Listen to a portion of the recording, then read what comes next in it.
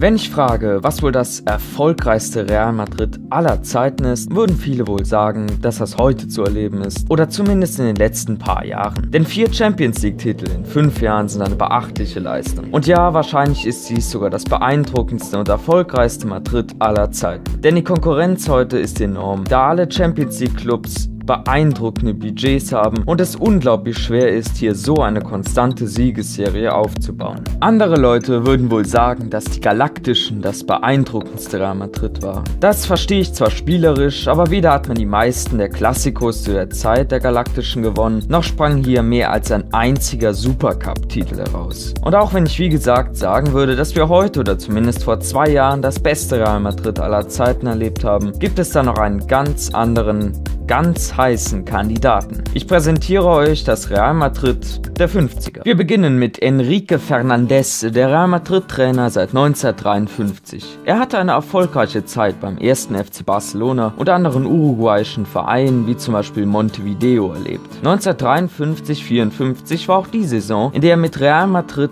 Meister wurde und das tatsächlich zum ersten Mal seit 21 Jahren. Damals bestand die Liga aus 16 Mannschaften, die wie heute üblich je zwei Spiele gegen sich bestritten. Seine Taktik war die damals sehr populäre Doppel-M-Formation, wie sie durch Arsenal etabliert und zu großem Erfolg gebracht wurde. In Zahlen lässt sie sich als 3-2-2-3 bezeichnen und war damals allgemein die meistgenutzte Formation. Doch auch mit der besten Taktik braucht man noch ein gutes Spielermaterial und das hatte Real Madrid natürlich. Im Tor stand der nicht allzu bekannte Cosme. In der Verteidigung spielte der erfolgreiche Einkauf Gabriel Alonso. Er war wohl der wichtigste Verteidiger Bundesliga und dirigierte das Abwehrspiel Real Madrids. Das Mittelfeld bespielten unter anderem zu der Zeit die eingekauften Gento und Miguel Munoz. Jedoch konnte sich auch ein Spieler aus der eigenen Jugend zu Einsätzen bringen. Die Rede hier ist von Zaraga. Doch das Prunkstück der Mannschaft war ihr Sturm. Er bestand aus dem Spanier Luis Molovny, der 13 Tore schoss, Argentinier Roque Olsen, der 15 Tore schoss und natürlich der Legende Alfredo Di Stefano, der 27 Tore erzielen konnte. Er ist bis heute der drittbeste Torschütze der Geschichte von Real Madrid. 1953 wurde er verpflichtet, wobei dieser Transfer für viele als der Einstieg in diese Periode gilt. Der Pokal ging dieses Jahr aber an den ersten FC Barcelona, die Real im Halbfinale ausknipsten. In der nächsten Saison gab es mal wieder einen richtig starken Start, doch Trainer Enrique Fernandes wurde danach trotzdem nach 10 Spielen gefeuert. Wahrscheinlich lag es an seiner Barcelona-Vergangenheit und dem politischen Konflikt. Der neue Trainer hieß José Villalonga. Der Spanier sollte nach Ankunft die Taktik Reals für die nächsten Jahre prägen. Ungarn hatte gerade den Weltfußball geschockt. Man gewann 6 zu 3 gegen das damals für unbesiegbar gehaltene England. Ungarn spielte ein 2-3-5 aber der mittlere der Stürmer ließ sich wie eine falsche 9 zurückfallen. Da England mit zwei statischen Linien verteidigte, hatte die falsche 9 immer wieder Raum, der dann mit einem Dreierpack genutzt wurde. Villayonga adaptierte dies, wobei Di Stefano als falsche 9 agierte und 25 Mal traf. Der von ihm empfohlene Real traf 18 Mal. Der Pokal ging dieses Jahr zwar nach Valencia, aber man schaffte die erste Europapokal der Landesmeisterqualifikation, die damalige Champions League. Doch in der nächsten Saison 1955-56 lief die Liga katastrophal. Trotz 24 Toren die Stefanos schaffte man nur Platz 3 und die CL-Qualifikation nur weil man Titelverteidiger war. Athletic Bilbao heimste hier sein Double ein. Doch die Champions League verlief besser. 16 Nationen waren hier mit je einem Team vertreten. Das ganze Turnier lief als K.O.-Runde. England nahm wegen seinem typischen zu langen Spielplan nicht teil und Holland schickte nur eine Jugendmannschaft. Also keine Ahnung, was sie hier wieder nicht mitbekommen haben.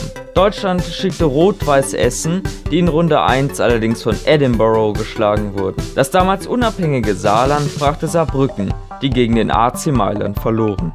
Real Madrid aber schlug Servette Genf, dann Partizan Belgrad und im Halbfinale den AC Mailand.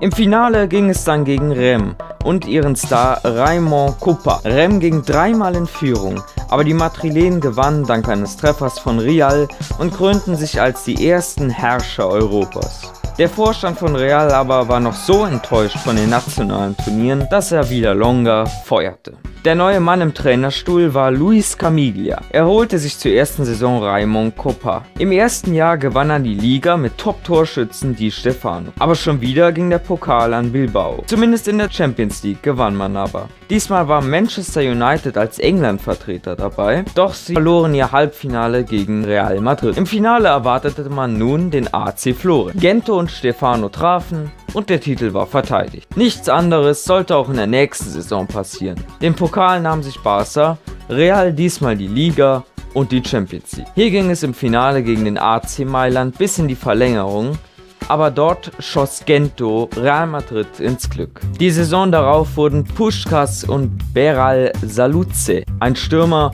und ein neuer Torhüter gekauft. National wurde man Leverkusen, also ich meine zweimal Zweiter. Doch das nächste Opfer im Finale wartete auf seine Niederlage. In Stuttgart gewann man gegen Stade durch einen Treffer von Alfredo Di Stefano. Doch Topscorer wurde Just Fontaine, der schon in der WM gezeigt hatte, was er konnte und 14 Mal getroffen hatte.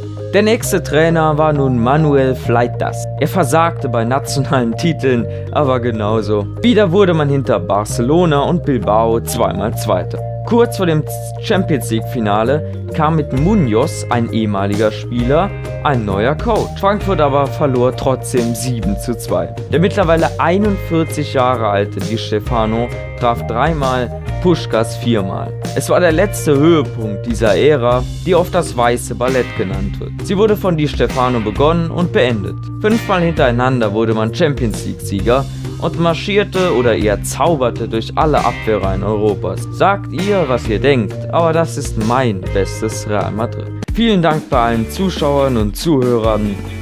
Tschüss.